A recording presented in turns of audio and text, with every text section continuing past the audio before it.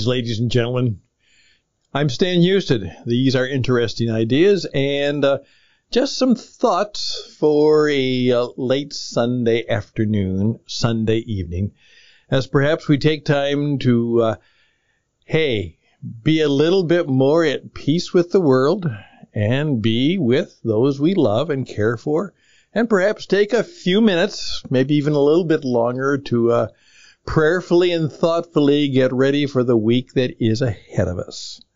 What I oftentimes call the Sunday night meeting. And uh, I will be doing that perhaps just as soon as I get done with the program.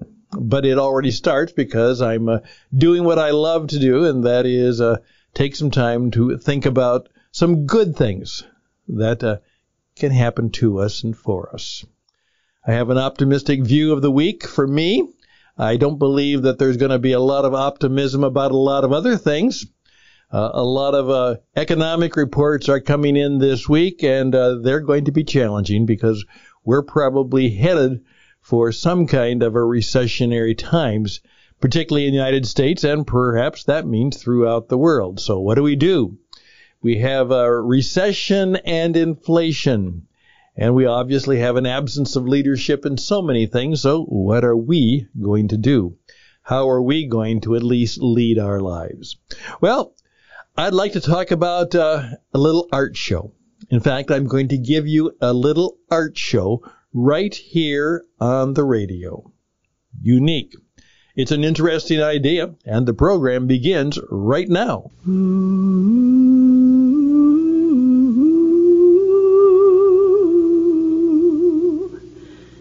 Tis a gift to be simple, tis a gift to be free. Last Friday, I had a little bit of a unusual program. I hope you heard it. It was about uh, leaning. In fact, what I did was take uh, one of my favorite films from uh, a few years ago, Joel and Ethan Coen, uh, the uh, movie guys, two brothers who've produced some incredible, uh, strange and unique and different films. And of course, uh, a few years ago, they revived an old John Wayne classic uh, called True Grit, and they put it together in a new version and uh, re-released it. And it's very unusual for something like that to uh, do better than the original. But uh, they certainly did it different and in many ways just as good, if not in some ways better than the original. And that's where I played that uh, theme song that I like so much. It is from, uh, of all things, that old hymn, Leaning on the Everlasting Arms, was uh, the musical theme that these uh, guys put together, which was the background theme for that uh, rather rugged film called True Grit. And so uh, I played that uh, for you because I enjoyed listening to it myself, particularly the uh, haunting voice of Iris DeMent in uh, Leaning on the Everlasting Arms. Every once in a while, as a broadcaster, I do something strange. And some of you are saying is, what do you mean every once in a while? Well, maybe quite often. But uh, from time to time, I like to have a radio art show. Yes, a radio art show. And that's where I actually have a art show on the radio. And I'm not going to go into any more detail about that, but it's kind of a unique experience sometimes. And we'll do that. We'll bring an artist on and uh, he or she will uh, show us pictures, uh, radio pictures of their artwork and uh, we'll probably get to see them. Yes, please keep in mind that radio is much, much more imaginative. Some of the pictures that you see when you hear me or hear people on the radio, um, they're better pictures than the real pictures. Uh, some people actually say that, you know, that uh, I sound better looking than I am. Well, that's good because I believe that would be good. So there we go. Hey, here's the deal. I uh, got a uh, send out from one of my friends from Arizona who runs an art gallery there, an extraordinary Renaissance woman. Her name is Diana Madaras. Diana Madaras. And uh, she's an incredible artist and she's gone through all kinds of things. She's a marketing genius. She's done a lot, but finally she found her love in uh, painting Western pictures, and she does just that. And when you go to Tucson, Arizona, you can uh, find some of her wonderful things in her gallery. She has her own gallery. And you can obviously look her up and see some of the fine work she had. But uh, I'm on her list of send out things, and so what she did is uh, she uh, sent some pictures of uh, some of the uh, paintings, the art that she has ready to display. And one of them just struck me, just really struck me. And so here I'm going to describe it for you. It is a picture of a two pair of boots. Okay, now see that, okay? Uh, there's a taller, bigger pair of boots. They're all rough. They're black. Then there is a pair of smaller boots. The only difference is that the pair of smaller boots, one of the boots is leaning on the other boot, the black boot.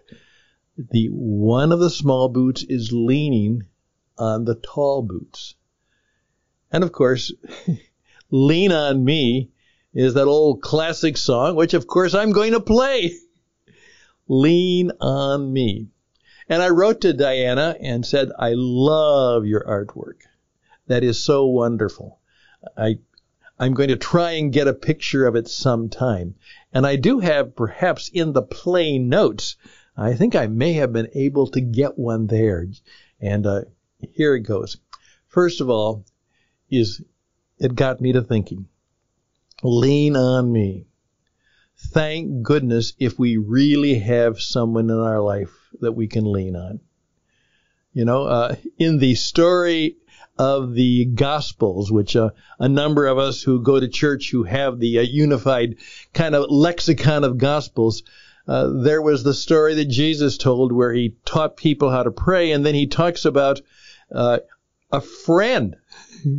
Uh, you go to a friend, and even though you're bothering that friend, you need some help. And even though they're tired and worn out, because you persist, they come forward and uh, help you out. And the message probably is that uh, that's kind of the way God acts. Whenever you need help, there's somebody to lean on.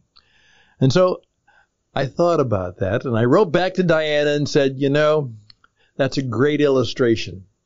We all need someone who has bigger boots than we can lean on.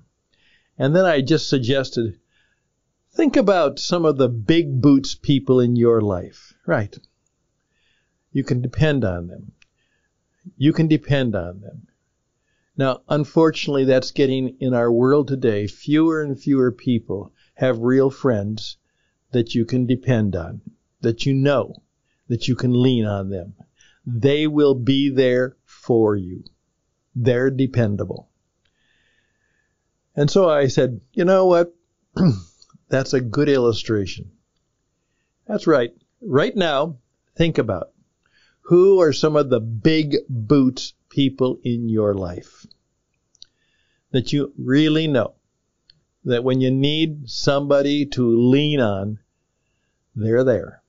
They're there. They're there. And they'll be there again big boots people. The world certainly needs more big boots people, and I hopefully have given you a picture, a uh, art show on the radio. Think about it. The two cowboy boots, the big boots and the smaller boots, but one of them has to lean on the big boots.